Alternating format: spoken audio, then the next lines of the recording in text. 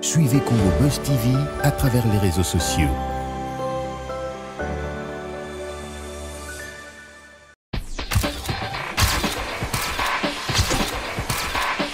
Congo Buzz Télévision, une nation, une chaîne, une nouvelle république. Congo Buzz Télévision, la référence de l'élite. Suivez Congo Buzz TV à travers les réseaux sociaux.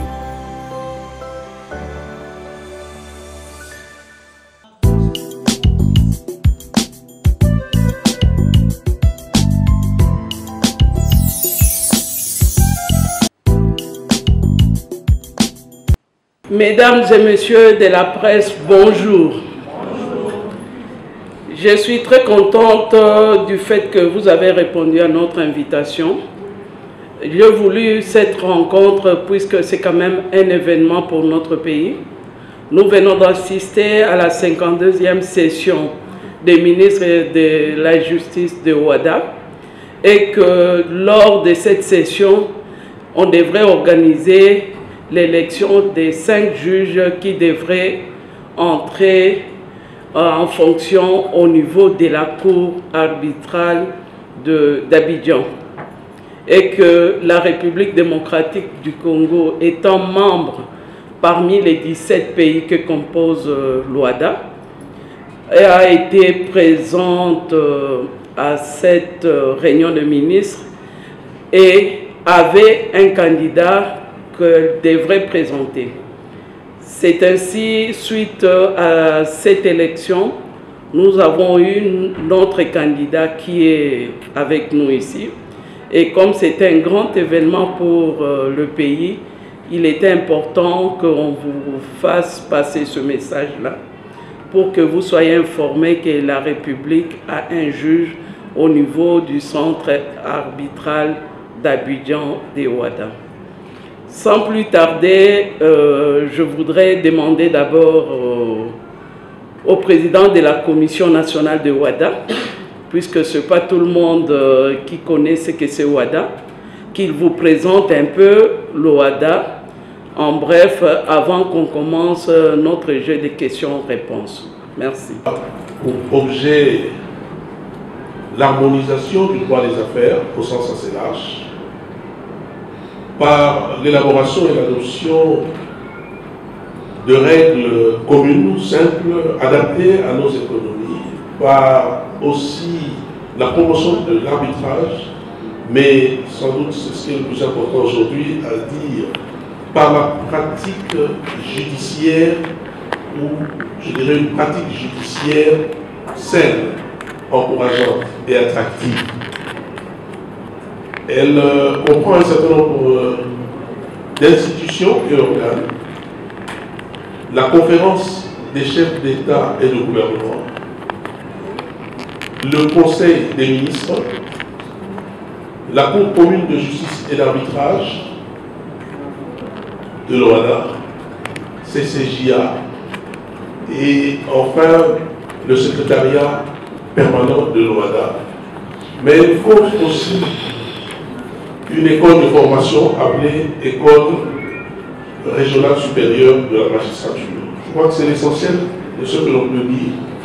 Mais c'est en quelque sorte un instrument au service du climat des affaires. En particulier dans ces deux branches clés que sont la recherche de la sécurité juridique et la promotion de la sécurité judiciaire et qui reste un objectif essentiel pour les gouvernements africains, y compris le nôtre. On parle tout le climat des affaires, c'est un peu de ça qu'il s'agit également. Merci. Ils sont devant moi. Le vice-ministre qui est à ma gauche, ma droite, on vous l'a présenté quand il est entré. Et notre lauréat et à côté du professeur Massamba, s'il peut s'élever pour que vous puissiez le voir.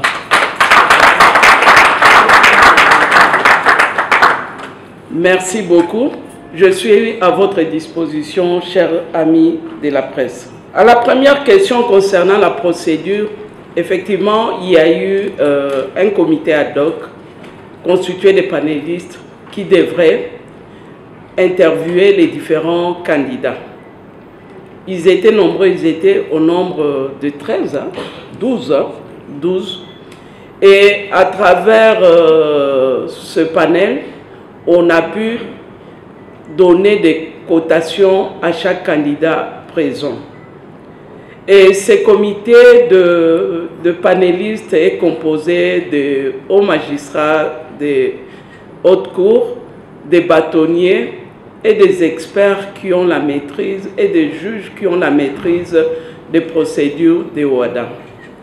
Parmi les conditions qui sont retenues, on demande à ce que les candidats soient, aient une expérience de 25 ans dans la magistrature.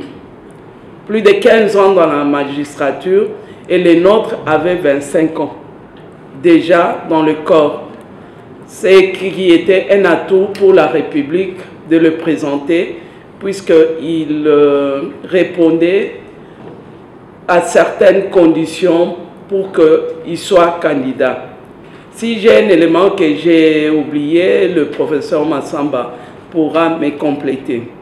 Maintenant, par rapport euh, à l'appui du gouvernement congolais, effectivement, quand nous sommes entrés en fonction à la première réunion de ministre de la Justice, j'avais appris qu'on avait des arriérés de plusieurs années au niveau de l'organisation. Et lors du Conseil des ministres, j'ai eu à, présenter ce petit souci-là. Et au niveau du Conseil des ministres, le président avait instruit pour qu'on puisse effectivement euh, payer ces arriérés pour que notre candidat puisse être accepté. C'est chose qui a été faite à la première réunion de ministres euh, de, à Bamako et ça a permis à ce que notre candidat soit plus à l'aise. Et l'appui du Premier ministre, le fait qu'il suivait de près, il suivait de près euh, les instructions qui ont été données et il a suivi à ce que le ministre de Finances puisse euh, faire cela. Et ça a été une grande joie et on avait mérité des félicitations étant donné que certains pays sont encore en retard d'arriéré. Et ce qui a permis à ce que nous puissions foncer dans le lobbying pour convaincre les différents pays de nous soutenir, étant donné qu'on est un pays francophone qui, est, qui a une grande étendue par rapport à tous les pays membres, et de deux, et surtout que on a été en règle de cotisation, c'était vraiment un atout dans notre lobbying pour gagner la sympathie des différents ministres membres. C'est ainsi que même dans l'accompagnement des lobbying, le gouvernement a été présent et cela nous a permis d'avoir ce poste que nous occupons aujourd'hui. Et nous réintégrons encore euh, notre reconnaissance au président de la République ainsi qu'au Premier ministre. C'est toujours une joie d'avoir un de nôtres dans les différentes organisations internationales. Nous les voyons dans certaines sous-régions où les gens sont très présents et qu'avec la vision du président de la République actuelle, Félix Antoine Tshisekedi, il insiste à ce que la RDC soit présente dans toutes les organisations où il y a des postes vacants. Nous nous retrouvons aujourd'hui, je crois, avec euh, trois compatriotes. Un qui est à la Commission des droits de l'homme des Nations Unies, qu'on a eu à booster pendant mon mandat, le professeur Minga Changa. Et il a été élu là-bas. Le deuxième, c'est un compatriote qui est au niveau de l'Union africaine. Et le troisième, c'est celui qu'on vient de voter au niveau de l'OADA. On espère qu'il y aura d'autres candidats pour des organisations qui sont ouvertes pour que la RDC soit présente effectivement dans ces différentes organisations. Merci. Il faut reconnaître qu'on a des tribunaux de commerce et que la RDC est parmi les pays qui produit beaucoup de décisions rendues par ces tribunaux de commerce dans le cadre de, climat des affaires. Et qu'il est important qu'il y ait quand même un de nous à l'intérieur, puisqu'on a trouvé un état des lieux quand même qui est inquiétant par rapport aux différents contentieux de la RDC. On a beaucoup de contentieux où la République démocratique du Congo est, condamnée. Et que si on a un juge, on est informé des procédures. Parfois, on est condamné puisque l'information ne passe pas ou puisque les gens font à dessein pour que l'information n'arrive pas au niveau de, de la République pour qu'on puisse dépêcher des avocats. Et si on a un juge, il y aura un suivi et nous serons toujours au rendez-vous pour les différents contentieux ouverts à notre égard. Par rapport au, au dossier RDC Ouganda, comme vous le saviez, c'était au mois de février qu'on a prononcé par la Cour internationale de justice la sentence condamnant l'Ouganda à payer à la RDC 350 millions. On est dans les procédures et cela doit se faire tout le 1er septembre de chaque année. Et ils doivent payer pendant 5 ans 65 millions par an. Et cette somme, ce n'est pas pour se partager, c'est une somme qui sera destinée à l'indemnisation des victimes des atrocités qui se sont passées en Ituri et en, à Kisangani. Et que on est dans les procédures comme on avait déjà, comme il y avait déjà un décret du Premier ministre pour la gestion de ces fonds. Ce n'est pas l'actuel Premier ministre, ce décret date de longtemps. Et qu'aujourd'hui, on est en train de formaliser cela pour qu'au moment venu en, septembre, que cela soit réellement euh, opérationnel. C'est de l'argent pour, pour les victimes, je le répète très bien. Ça peut être une réparation collective qui peut être la construction des écoles, des logements sociaux, l'accompagnement de, des activités, des développements dans ces différents espaces qui ont été euh, qui avaient subi ces atrocités, mais ce n'est pas de l'argent pour les individus.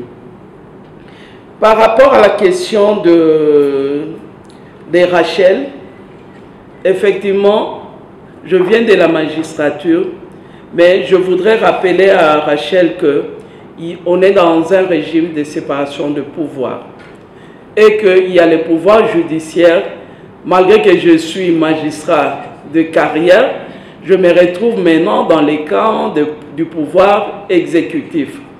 Il y a un domaine de collaboration et que la magistrature, d'une manière générale, est gérée par le pouvoir judiciaire à travers le Conseil supérieur de la magistrature. Et à mon arrivée, j'ai activé le cadre euh, des concertations avec le bureau du Conseil supérieur de la magistrature. On a déjà eu des réunions. Dernièrement, j'ai encore écrit pour demander à ce qu'on puisse se retrouver autour d'une table pour échanger sur certains points, notamment les inquiétudes de la population. Et pour pallier à cela aussi, je viens dernièrement de redynamiser l'inspection des services pénitentiaires et en nommant un nouveau inspecteur général. Cela va permettre à ceux qui sont parmi ces inspecteurs-là, ils sont en train pour le moment de travailler au niveau de la prison centrale de Makala pour pouvoir voir quels sont la, quelle est la situation exacte des différentes personnes qui sont incarcérées là-bas. Et avec ce rapport, ça va me permettre de voir comment on peut désengorger la prison de Makala et à travers ce travail, les différentes prisons de la RDC. C'est vrai, il y a des soucis, effectivement, par rapport à la justice qui est rendue par euh, le magistrat, mais nous essayons de pousser pour que on puisse sanctionner les différentes personnes qui commettent ces bévues. Je ne cesse de le répéter, la population se plaint, il y a la corruption, il y a la justice qui est mal rendue, mais la même population, quand vous leur demandez de vous donner la liste de ces magistrats-là vers eux pour qu'on les connaisse, ils reculent.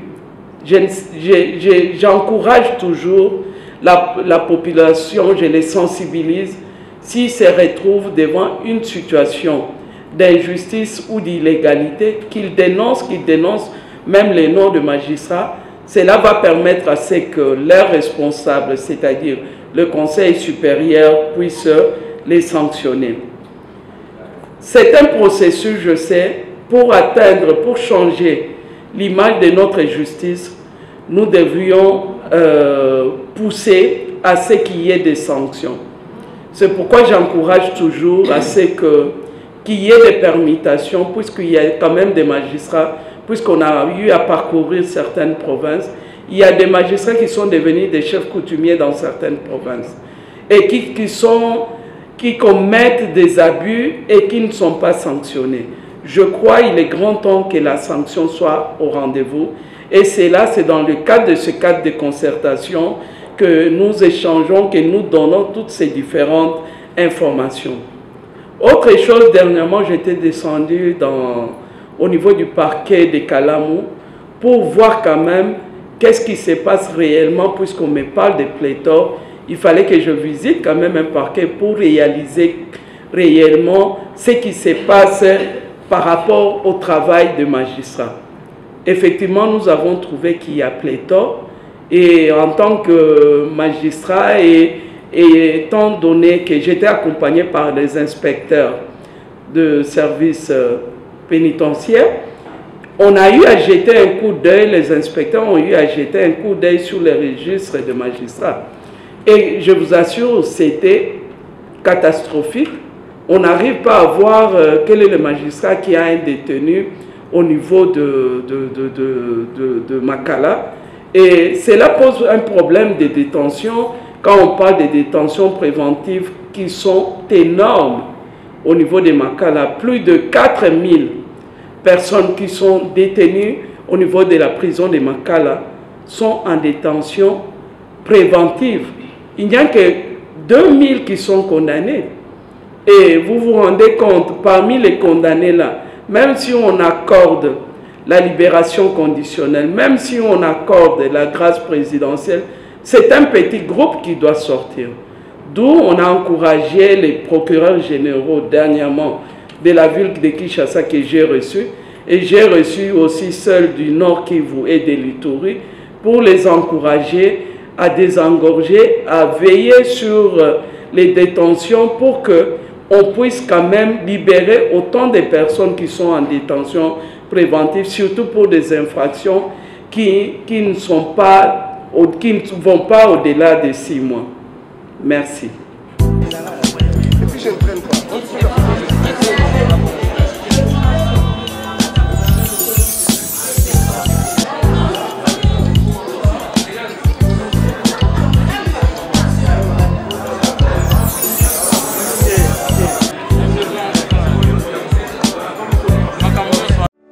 Congo Buzz TV à travers les réseaux sociaux.